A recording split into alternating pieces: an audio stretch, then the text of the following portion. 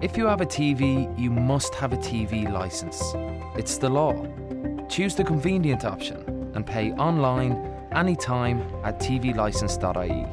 Your TV licence made easier. Brought to you by the Government of Ireland.